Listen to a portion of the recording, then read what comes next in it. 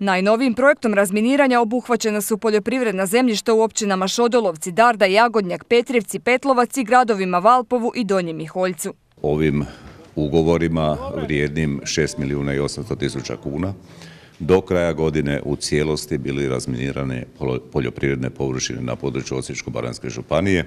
Evo, podsjećam da je u tijeku e, realizacija i odobrenje sasvim izvjesnog e, projekta i e, financiranja razminiranja hrvatskih šuma, isto tako na području Osječko-baranjske županije, a radi se o potezu od koridora 5C pa nizvodno do ušća Drave u Dunav.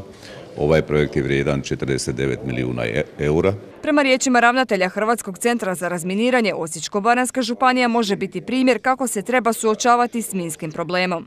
Ja se iskreno nadam da 2017. će biti ona referentna godina kad e, Osječko-baranjska županija će biti izbrisana sa one liste, odnosno popisa županija koji imaju minski problem.